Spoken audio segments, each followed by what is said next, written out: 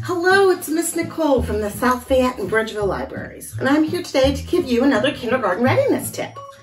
Today, we're going to talk about asking questions to let our teacher know what we need or what we want.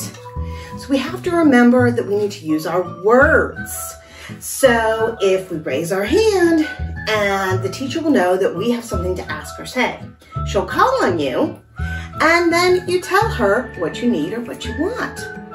Remember, we don't just shout out, um, and you don't just get up and run around. You have to raise your hand. So let's do a couple examples. So if I'm the little kid and I have to go to the bathroom, and I don't use my words, I might stand next to my chair and I might do some little hopping around and dancing. And some people call this the potty dance. Well, my teacher doesn't know. Does that child have to go to the bathroom or are they just dancing around? So you need to raise your hand. The teacher will call on you and you will say, I need to use the bathroom. Can I please go? And then the teacher will know what you want and what you need. Let's do another one. You're writing on some paper with your pencil and all of a sudden, oh no, the point breaks and you can't write anymore.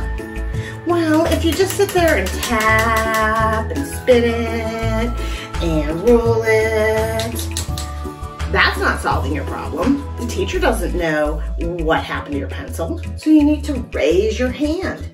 And you need to say, my pencil point broke, can I please go to the sharpener and use it?